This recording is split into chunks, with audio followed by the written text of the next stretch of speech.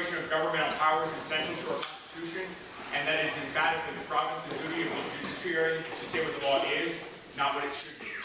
Um, we really appreciate you coming out and uh, taking your time on this uh, awesome fall afternoon. Uh, we only get so many of these in Florida.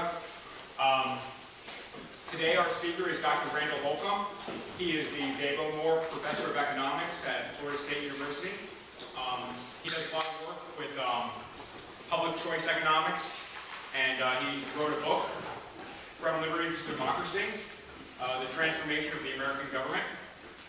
Um, and he's going to be speaking to us today about uh, the way that elections have changed from the way they were written in the Constitution to the way they are now. Um, some of it has been through constitutional amendment, some of it has just been through practice. Um, so without further ado, please help me welcome Dr. Randall Holcombe.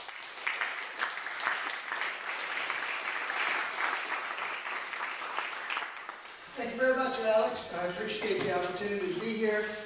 And, um, you know, an election's coming up tomorrow. Some of you are aware of this. Uh, and one of the things I always hear around election time is how you need to go out and vote. It's your patriotic duty to go and vote.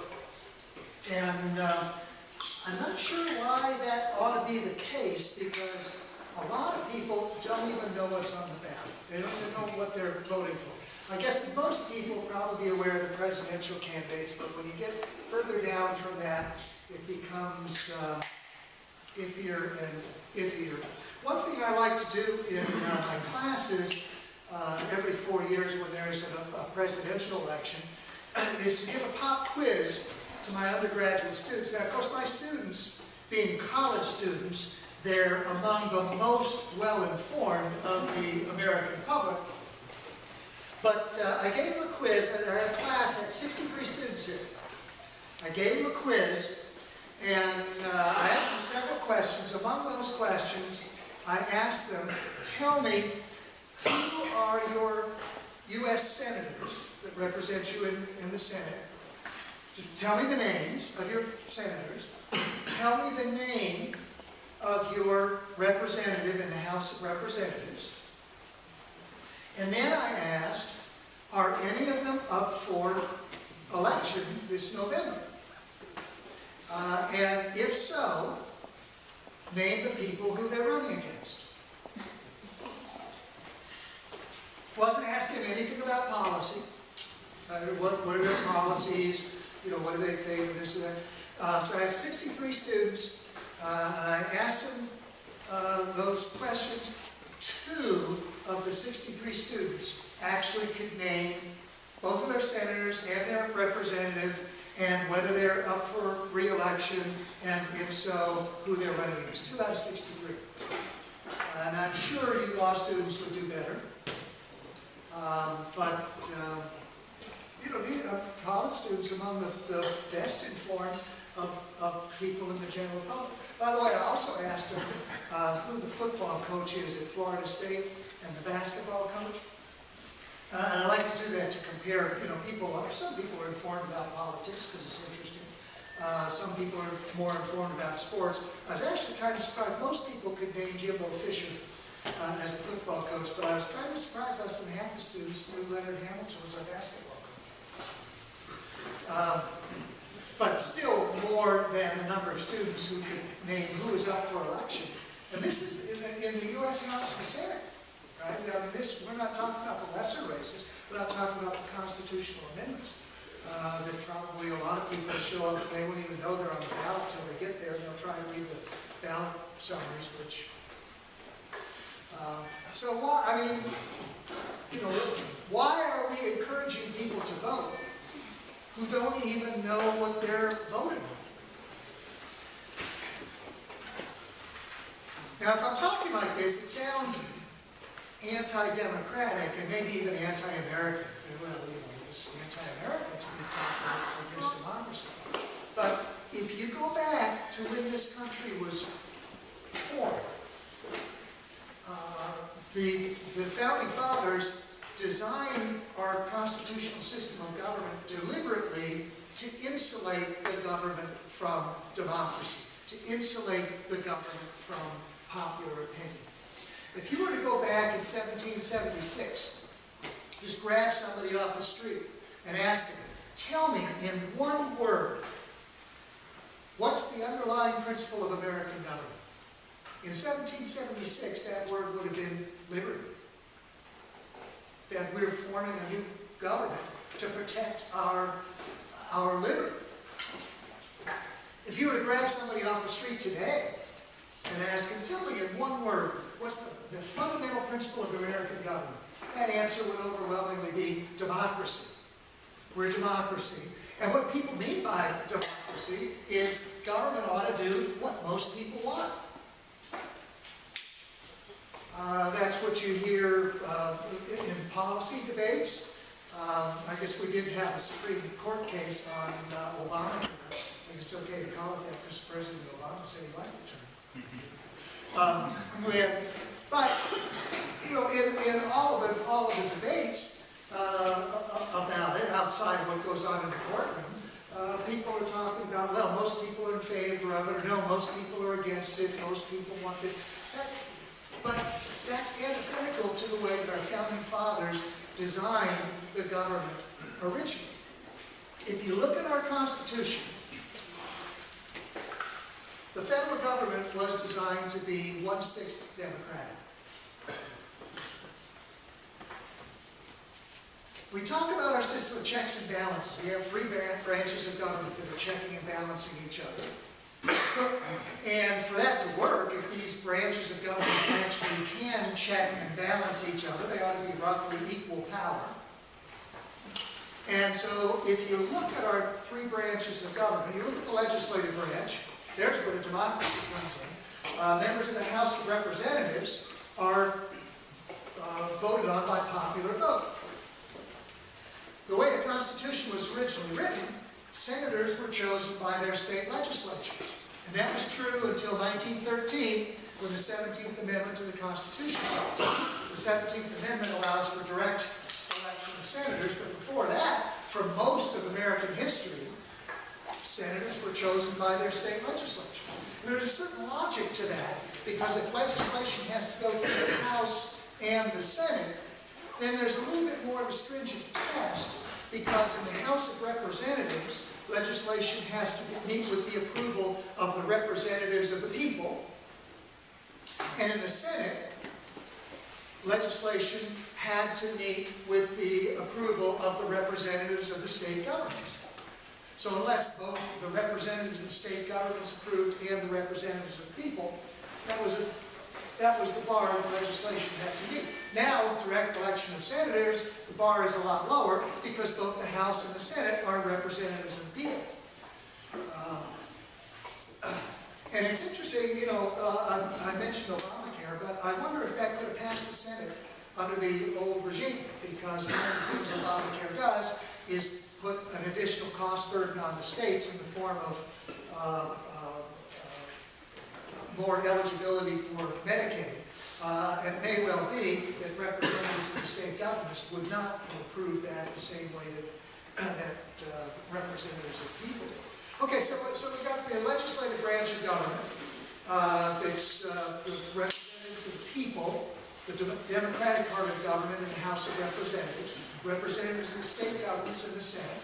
Uh, The uh, judicial branch, judges are appointed, the- appointed by the president, but uh, they're insulated from democratic pressures by their uh, appointment. Uh, And in the executive branch, you read the Constitution, the president is chosen by the Electoral College. Uh, and actually, it may well be the House of Representatives. But let's back up and let, let's look at the Constitution and see the way that the Constitution designed the president to be elected. That uh, the Electoral College, you know, has, uh, each state is represented in the Electoral College by, um, they get the number of electors that are equal to the number of representatives in the House of Representatives plus the number of senators. So we add the representatives and senators together for each state. Uh, Those, uh, that's the number of electors that each state gets. The Constitution says that the electors are chosen by the states. And the Constitution never has said how the states choose their electors. It's up to the states to choose their electors. But the Constitution doesn't say now, and never has said how the states choose their electors. You go back to the election of 1800, when Thomas Jefferson was elected, the most common method of choosing electors was to have the state legislatures do it. Um, and, uh, and that, that phased out pretty quickly. Actually, one state, South Carolina, they didn't have a popular vote for president until after the war between the states. Um, but, uh, but originally, the Constitution never has said how the electors are chosen. Um, and that pretty quickly went, by the time we get into the 1820s, most states were doing it by, by popular vote. So the system we have today was pretty much in, in place by the time we get to the 1820s. But why do we have this electoral college? Why do we have that system? The founders thought that uh, uh, most people wouldn't be that well informed to know about the various candidates, but also they wanted to insulate the choice of the chief executive from democratic opinion, from popular opinion. So rather than have the people choose the president, where now the president is uh, uh, accountable to popular opinion, the electors would vote for the president. Uh, and the idea was that the electors would be people who would be better informed about presidential candidates than the general public. So we select a group of electors who are better informed, who know more about the candidates, and those electors then cast their votes for president.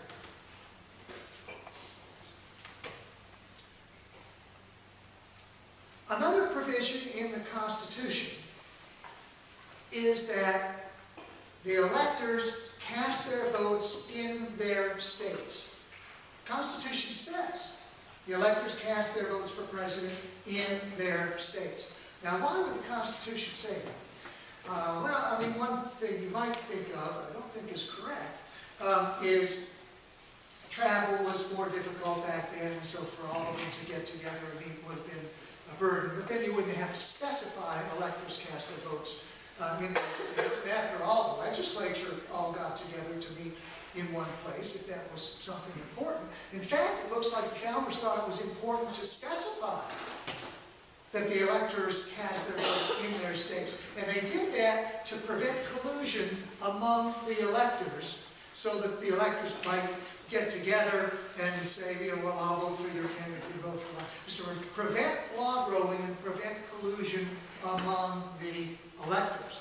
So the electors, the Constitution specifies specifically the electors don't all get together to cast their votes. The founders thought that most commonly, electors would cast a vote for a favorite son candidate, for a candidate that was from their state. Uh, the, uh, and the Constitution was originally written, uh, electors cast votes for two candidates. Uh, and it specified one, at least one of which had to be from a state other than the uh, elector's state. What the founders thought was most electors would probably cast a vote for a favorite son candidate from their state.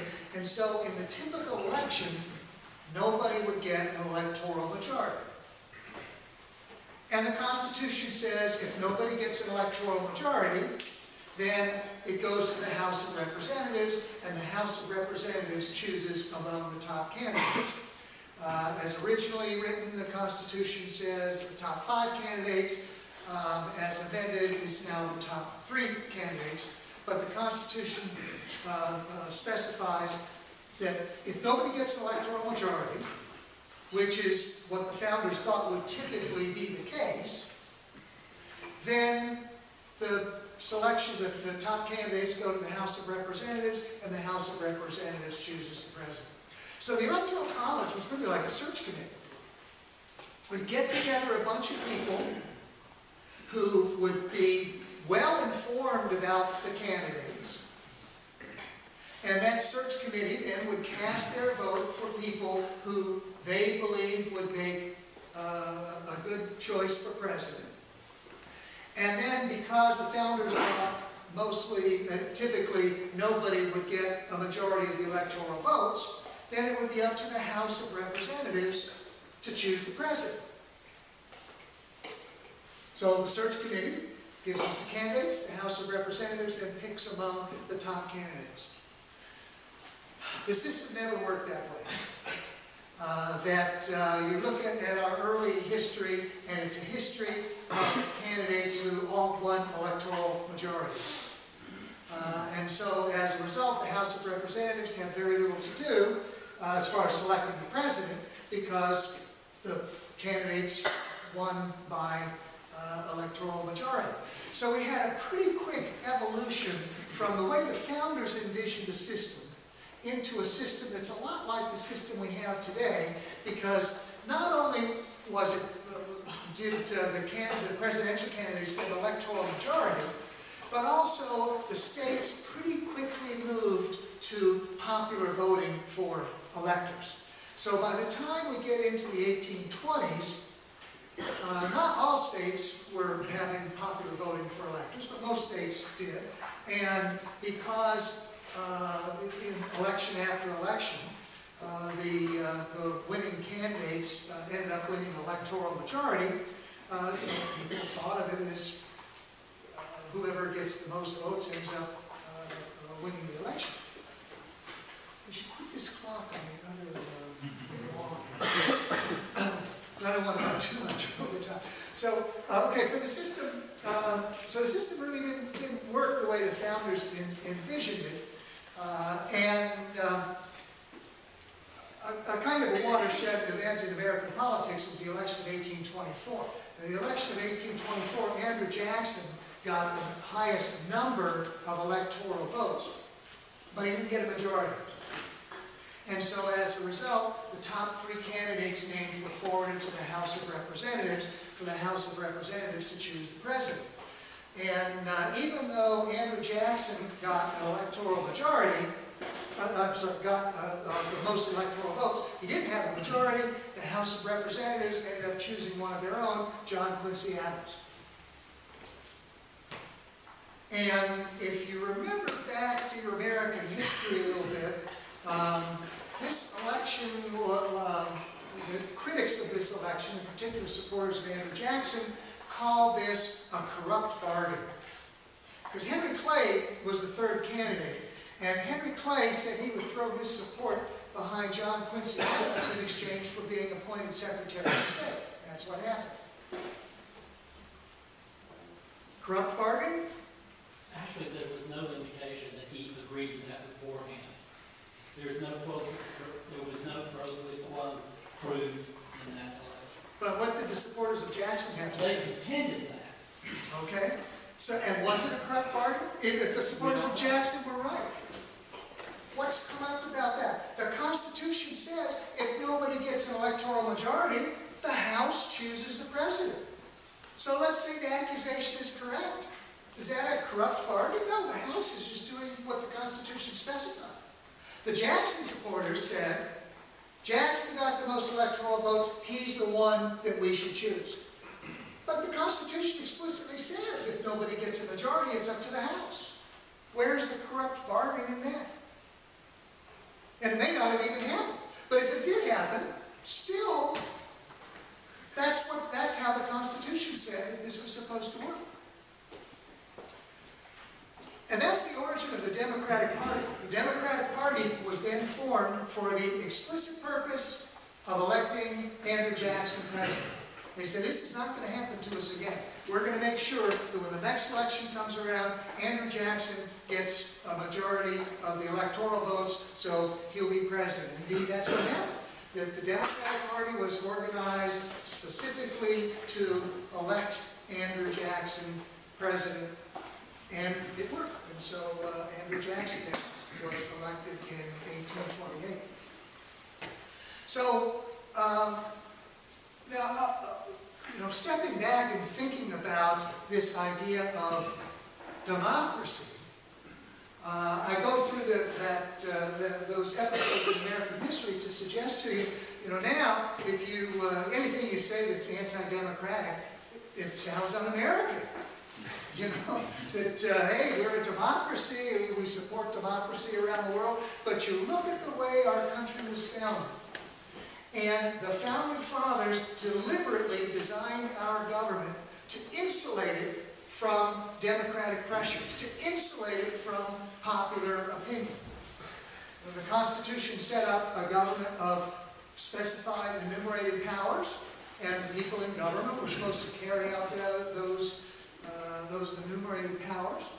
Uh, And they, and in so doing, they were, they were, the government was designed to insulate the government from popular opinion, insulate them from democratic pressures. The, the US government was, was designed to be one-sixth democratic.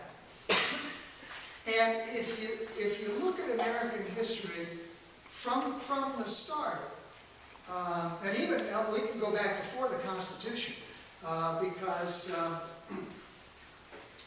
a lot of times the Constitution is advertised as a document that limits the powers of government and guarantees the rights of people. Um, And I think that's a mischaracterization. The reason why is that at the time we approved our Constitution, we already had a Constitution. The Articles of Confederation, our first Constitution. The United States government was already operating under a Constitution. And when you look at the difference between the existing Constitution, the Articles of Confederation, and the new Constitution, the new Constitution actually expanded the powers of government, didn't limit them. So thinking about the Constitution as a document that limits the powers of government, I think that's wrong. Because we already had a Constitution that limited the powers of government even more. So by passing our Constitution, we expanded the powers of government, we didn't, we didn't limit them. And I'll just throw this out, this may be good for law students, I don't know. Um, But um, I'm not sure that our Constitution actually was, um, was legitimately uh, approved. See, because we already had a Constitution, which was the Articles of Confederation. And the Articles of Confederation said in it that it could be amended by the unanimous approval of the states. So we had a constitution, the states were united under our constitution, the Articles of Confederation. And that constitution specified, by unanimous approval of the states, it could be amended. So then, you look at the US Constitution, and it says that it will take effect when nine of the 13 states agree. But we already had a constitution that said in order to change the constitution we had, you needed unanimous approval. Now, it's true, eventually all 13 of the states agreed, but that's far different from saying all 13 have to agree in order for the change to take effect, right? Because after nine agree, essentially they're, you know, uh, uh, leaving the other three uh, left to hang unless they, they go along with it. I mean, I guess all the states would, it would have been interesting if one of the states maybe decided they didn't want to join. That state would be, but, uh, but, you know, I'll just, I'll just ask you law students, I mean, here we have a constitution that says, it requires unanimous approval to be amended.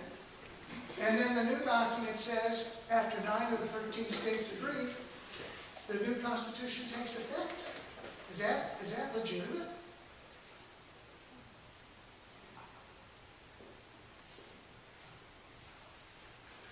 I read one theory, and this would be a big burn in the side of Abraham Lincoln, but it basically said that it was when the states were ratifying the Constitution, they were ineffectively seceding from the United States seceding from the old which some would say they have the right to under Article Two, which says that each state maintains its sovereignty and independence. Therefore, it seceded from the union created by the Articles of Confederation and us ceded to a new one created by the Constitution, and that any state that didn't ratify it was simply an independent nation until it agreed to accede to the new union. Right? And also read that the whole nine-state thing was a dirty trick played by the Federalists to try to get all 13 states to get in, since if they could just get nine to ratify, the other four would just feel bound by fraternity and patriotism to go along with it. Yeah, yeah, that is, that's, that's interesting.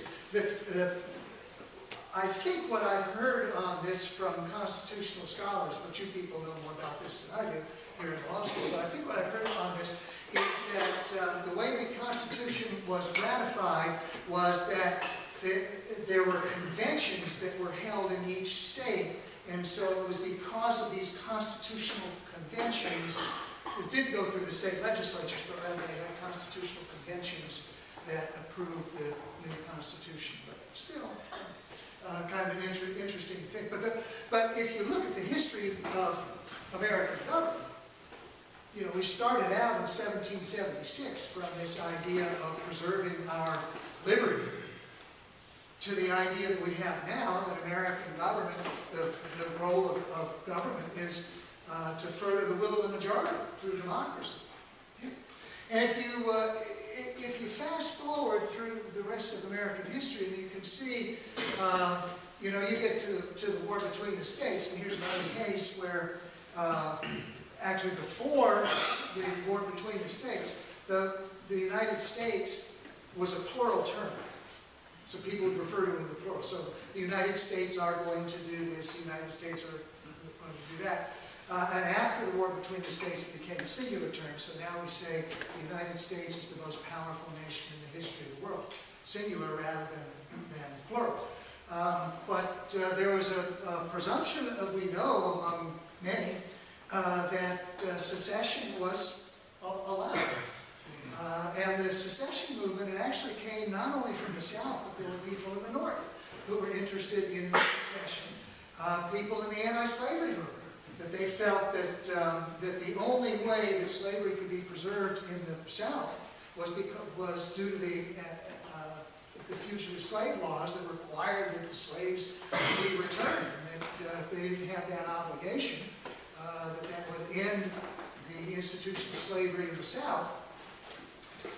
Um, And so some people in the North were in in favor of secession.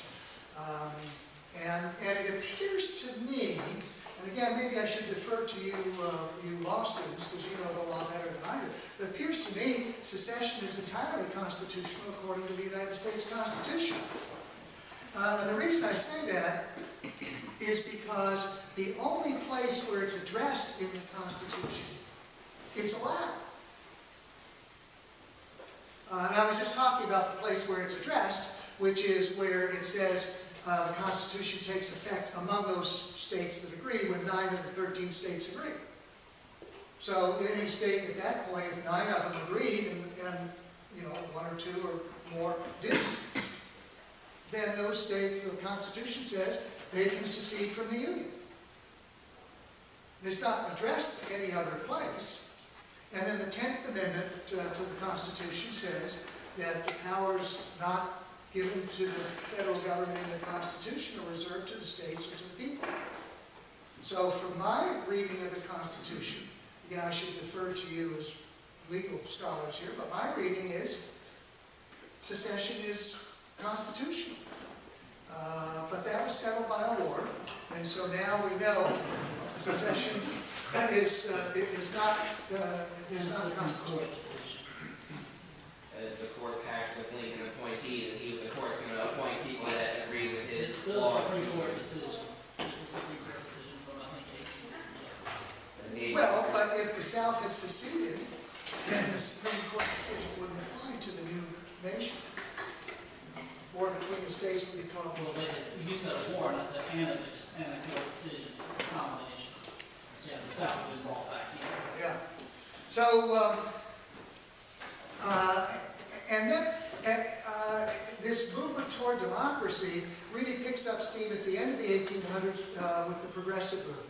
uh, during the progressive era, there was really a change in ideology, in, uh, in the thinking about government. That, uh, that before the progressive era, which probably starts sometime around the end of the 1800s on into the beginning of the 20th century, people thought that the role of government was to protect individuals' rights. And the progressive movement brought with it the idea that not only should the government protect individual rights, it should also be looking out for people's economic well-being. And so you have a whole host of laws and agencies and so forth. First, the Sherman Antitrust Act in 1890, uh, the uh, Pure Food and Drug Act in, in uh, 1906, uh, but a lot of other movement toward more and more uh, government oversight over the economy so that the, the ideology had changed so that not only was government protecting individuals' rights, it was also looking after their economic well-being. This progressive ideology uh, has, uh, has uh, continued uh, to grow throughout the 20th century. And um, when you look at the growth of government, a lot of the growth of government came during periods of crisis. That uh, um, if, if you look at federal government spending before and after the war between the states, roughly doubled. After which it stayed pretty level uh, up until, actually up until 1913 when we got the income tax. It's interesting, I mean, you might think government spending always increases, uh, but uh, from the period from about 1870 on up into the early 1900s, um, real per capita government spending, government spending per person, stayed about level for that whole period as um, income was growing. So federal spending as a share of income was, was declining uh, over that period of time uh, until the uh, 16th Amendment uh, allowed the federal income tax. Uh, and so there's, you know, there might be a tendency for you to think then, well, it's because of the income tax that government grew so much. Uh, and I think that's not exactly wrong to think that way. But on the other hand, the income tax had to be pretty popular to pass. Because for a constitutional amendment to pass, it's got to be the approval of two-thirds of the House, two-thirds of the Senate, and three-quarters of the states. Uh, and, it, and it met that bar. Uh, so, you know, it's an expression, you know, people want bigger government. Uh, then we had uh, a period of, uh, you, look at the First World War, again, a big ratcheting up in government expenditures. Government never fell to its, uh, to its pre-war level. Uh, then you get into the 1930s, uh, the Great Depression, we had a big expansion in government expenditures that we uh, a lot of times associate with President Roosevelt. And I think that's not exactly wrong, but it's interesting if you look at federal government expenditures, the percentage increase in federal government expenditures, federal expenditures actually increased by a greater percentage in the four years that Herbert Hoover was president than in the next eight years of Roosevelt until World War II started. So there's actually a big increase in government expenditures. Now we're talking about percentage increase, so Roosevelt is starting from a higher base. But from uh, uh, uh, throughout uh, Hoover's administration, big increase in government expenditures. We know about the um, all the New Deal programs, uh, a, a lot of which are remaining uh, today. And so government increasingly is looking out for people's economic well-being, that progressive ideology uh, takes hold, and we're in a situation where, um, uh, you know, again, government policy is dictated by whatever most people want, rather than by a government that's, uh, uh, that's insulated from democratic pressures.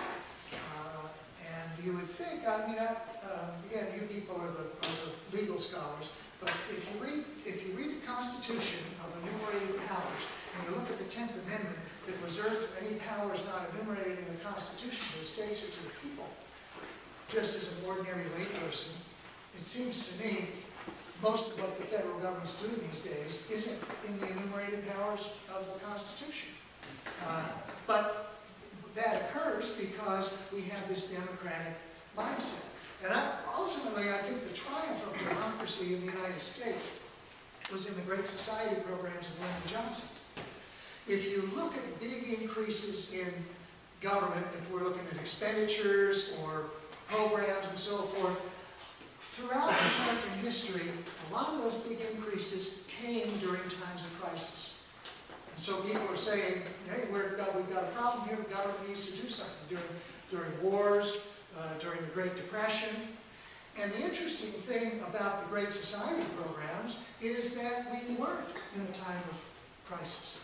That um, you look at the war on poverty uh, that was started, which interestingly enough, the poverty rate today is higher than it was when we started the war on poverty. But you look at the war on, on poverty, and, and prior, it, it, the poverty, good poverty statistics in the United States weren't kept until uh, after World War II. But you look at the poverty rate in the United States, and it continued down until we declared a war on poverty, which would level up.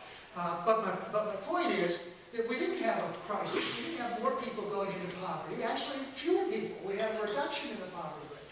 Uh, you look at uh, the big health care programs, Medicare and Medicaid, but we weren't having a health care crisis. Actually, health care was getting better and better. It was getting more and more available. But yet these programs were passed. So ultimately, those Great Society programs strike me as the triumph of democracy in that when you look earlier in American history, a lot of the growth of government came in response to crises, in response to problems. But the Great Society programs were addressing areas where actually things were improving, healthcare, poverty, things were getting better, and yet we put these programs into place. Why? Because most people wanted them, most people were in favor of them. And so uh, I think I'll, I'll uh, close with that, and I would be happy to open up the floor to questions, any questions or comments.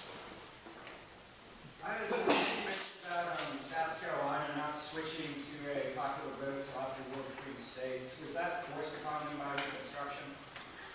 No.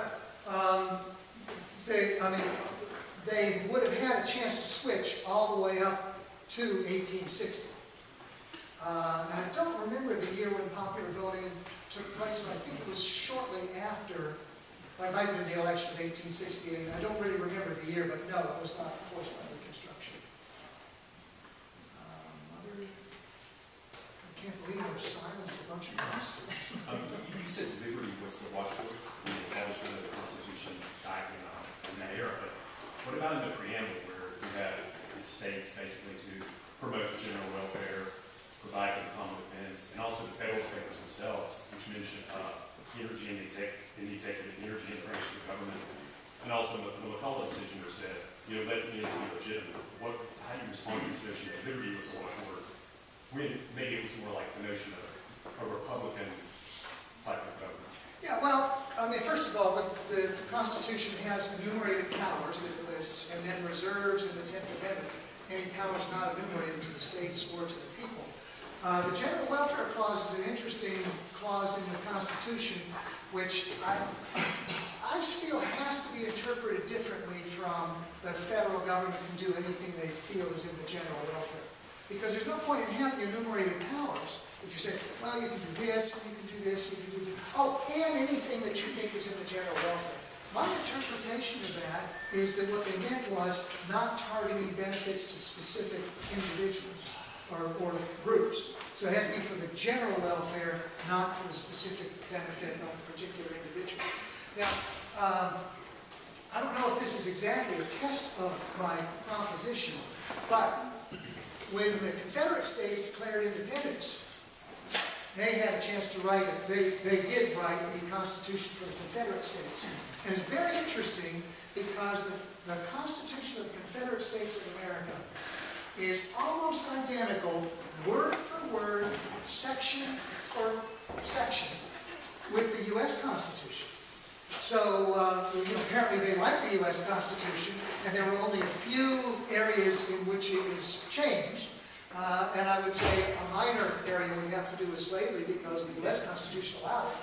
Uh, but um, the biggest changes if you, if you compare, and it's really easy to compare them side by side because the wording is identical, where they changed the words, the sections are identical, the wording is identical. The biggest changes are changes that prevent the federal government from providing targeted benefits to specific individuals or groups. Uh, and they left out the term general welfare, in in their, in their preamble. Also, if you go back to the Declaration of Independence, um, the Declaration of Independence mainly is a list of grievances against the King of England. You know, so it's like uh, the, the King of England is taking away our rights in these various uh, areas. And so we have a right to overthrow our, our government. I think that idea really goes back to John Locke. Uh, and, and his idea about the role of government to protect individual rights. And if the government's not doing that, if the government's violating your rights, you have a, uh, you have a right to replace your government. I had two comments. Firstly, on the preamble, well, the preamble was more a list of goals that the Constitution set out to establish by the other articles. And then two, on the general welfare clause, James Madison actually offered a pretty good explanation for general welfare in the context of Article 1, Section 8. He said that it was more a tag on to Congress's power to tax. When Congress lays taxes, it has to be for one of three purposes, either to pay a debt of the federal government, to provide for the common defense and general welfare, and then Congress actually goes about providing for the common defense and general welfare by following all the other enumerated powers. Because if you look at the enumerated powers of Article 1, Section 8, they're either A, related to common defense, declaring war, raising an army, providing and maintaining a navy, or to general welfare, coining money, punishing counterfeiters, regulating commerce between the states with foreign nations and the Indian tribes, so on. I need to get you up here to be my partner because you get better answers than I do. Um, Yeah, you hear a lot say about um, special interests getting into politics and there's corruption because politicians getting special privileges to um, you know, corporations or whatever. Did that happen a lot in the founding of this country? Um, in other words, does democracy make it more likely that politicians will be corrupt or serve as special interests? Uh, I think a lot of that has to do with the, with the size of government. The bigger government is, the more there is for special interests to go after. But that said, um, special interests have been a feature of the U.S. government since its founding. Um, when, before, if you, uh, back in the 1800s, uh, the biggest, if you look at the, the federal system that we have, local governments were far the biggest government by spending. Local governments spent more than the state and federal government combined by a pretty good margin. And so you had the special interests that involved in local government politics. Um, Indeed, um, you know, if we were talking a hundred years ago about the growth of government, we'd be talking about the growth of local governments, not the growth of the federal government. But you did have special interests uh, activity. Uh, one of the big special interest activities from the 1850s was uh, had to do with the post office. Uh, you know, that was something specified in the Constitution, uh, and uh, the, the uh, postal service was heavily subsidized to the West Coast, and that was because of the West Coast interests that wanted to keep postal rates low to, do, to deliver mail out to the West Coast. So it was something that was debated. Um, and, and it's also, I mean, it's apparent when you look at the Confederate Constitution that people in the Confederate states recognized that there was a lot of special interest expenditures that they wanted to put an end to. Uh, and that was sort of recognized too in the northern states. There was a, uh, an editorial in, um, I think I got the paper right, the New York World, uh, which was a New York newspaper, obviously, um, where uh, uh, during the war between the states, they were saying, uh, actually, when this war is over, we ought to look at the Confederate Constitution because it's got a lot of good things in it that we might do well to, to adopt. Uh, so I think, you know, the short answer to your question is yes, special interests have been with us in politics ever since the beginning. It was mostly at the local level up until you get into the 20th century because that's where the money was. And I think the bigger government is, the more you're going to have that, that, that special interest uh, activity. Uh, and it's, um, you know, these days, I guess a buzzword that we hear about in the news a lot is crony capitalism. Uh, and I, you know, I think it's, that's uh, real exists. And, uh, you know, so you look at the, uh, the Occupy Wall Street type people, I think that's legitimate people. But I think the solution that a lot of suggests backwards. That the reason that you have that type of activity is because government is big. They're saying, oh, we need bigger government to oversee, um, you know, our capitalist system. But no, when government grows, that opens the opportunity for more cronyism. So really the solution to that is smaller government. Uh, During the problems in 1913, why they did an income tax, how would it, how would you have changed uh, the income tax allowance, or how would you change it today? Are you asking how I would change the, the 16th Amendment? Yeah, Um, that's one, we- that's, know. Yeah, huh? Yeah, I mean, um, if you go back to the history of the, of the Sixteenth Amendment, uh, it, it was partly, well, I would not even say small part, um, a regional issue, north versus south. That the southern states had long thought that the tax system discriminated against them because the Constitution specifies that you can, uh, you can put a tariff on imports but no tariff on exports. And the southern states felt like we're importing a lot of manufactured goods, we're sending raw materials up to northern manufacturers who then can export what we're producing without paying a tariff. So the southern states felt that the system of federal revenues was working against them. Uh, and when the income tax was, was passed, it was originally passed um, That's actually doesn't have to do with the amendment, because that's the enabling legislation. Uh, But, but there was a- definitely a regional interest there. And that's, well, and when the income tax was passed, just an interesting little factoid on that is that um, there was a generous standard deduction in the income tax. And it wasn't until World War II that the typical working person would earn enough income to pay income tax. So if you just had a factory job or an office job or something, you wouldn't be paying income tax because the standard deduction was so high. Up until World War II is, is when that changed. Um, and the maximum rate, was a progressive tax from the beginning, the maximum rate was seven percent when it was instituted. And just an interesting little factoid, uh, the first year that the income tax was collected, more income tax was paid by the residents of the city of Chicago than by all of the residents in all of the former Confederate states combined. Uh, So it was, you know, it was a, a tax that was aimed at, uh, at the rich.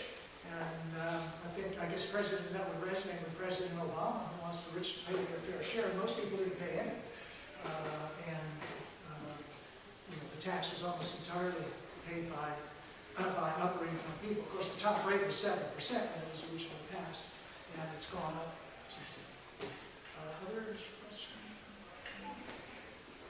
Isn't it significant, given what I take to be your disapproval move toward democracy uh, that the founders themselves did nothing to alter the government, the way it was set up, when they saw that, uh, electoral process was not going to end up in the House of Representatives, and, uh, and House of Representatives until eighteen twenty-four. There were plenty of founders around Yeah, eighteen yeah. hundred, eighteen four, eighteen eight.